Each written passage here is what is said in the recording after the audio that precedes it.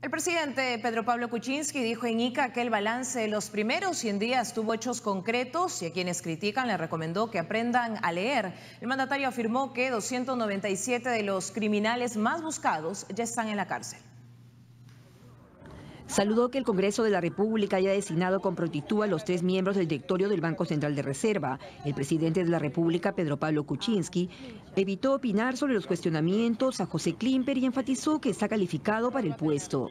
Lo único que le puedo decir es que el señor Klimper ha sido director del Banco Central en el pasado, ha estudiado economía, eh, o sea, está muy calificado para ese puesto durante una visita de trabajo a Pisco, donde inspeccionó el avance de las obras de la red vial número 6 y el inicio de la modernización del puerto General San Martín, el jefe de Estado respondió a las críticas por el balance de los 100 días de gestión.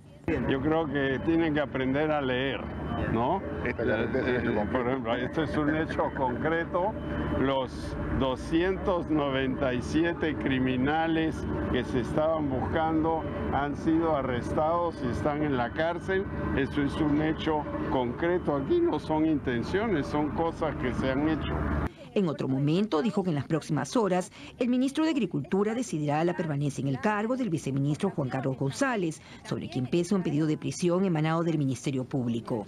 Yo no conozco ese caso, pero he hablado con el ministro de Agricultura y él debe tomar una decisión que hoy. Una persona con, sobre quien hay un pedido de, de, prisión pueda seguir o deba seguir en un cargo en el Ejecutivo?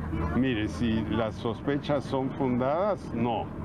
El jefe de Estado también espera que Indecopi actúe con firmeza ante la denuncia de concertación de precios entre farmacias y pidió que sean castigadas. Sobre la situación en Venezuela, informó que en la reunión de Cartagena solicitará activar la Carta Democrática.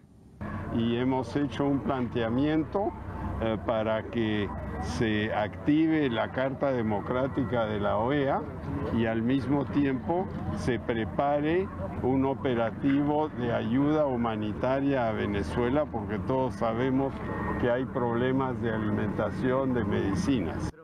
El presidente de la República se mostró satisfecho con el destrave de las obras. En los últimos dos meses se han liberado interferencias para avanzar en el eje vial Pisco-Ica de 227 kilómetros. En el caso del puerto General San Martín se trata de una obra concesionada por 30 años, con una inversión que supera los 200 millones de dólares y que dinamizará las exportaciones en la región.